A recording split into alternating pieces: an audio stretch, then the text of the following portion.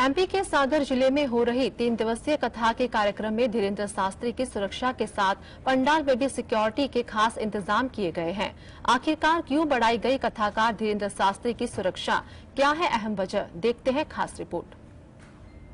बागेश्वर धाम के आचार्य धीरेन्द्र शास्त्री की सुरक्षा बढ़ा दी गई है।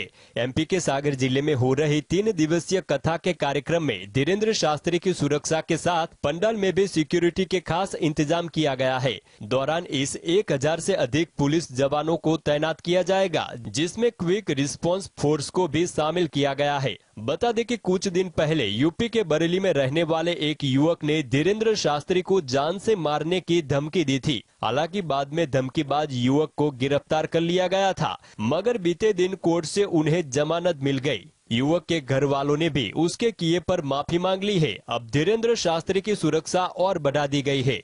उनके निवास स्थल से कथा पंडाल तक सुरक्षा व्यवस्था चाक चौबंद रहेगी। उन्होंने कहा कि बाबा बागेश्वर देश विदेश में सनातन को बढ़ा रहे हैं, इसीलिए कुछ लोगों को मिर्ची लग रही है। मालूम हो कि धीरेन्द्र शास्त्री को जान से मारने की धमकी देने वाले अनिस अंसारी को कोर्ट से जमानत मिल गई है। अनिस यूपी के बरेली का रहने वाला है। उसने सोशल मीडिया पर धीरेन्द्र शास्त्री को लेकर आपत्तिजनक टिप्पणी की थी।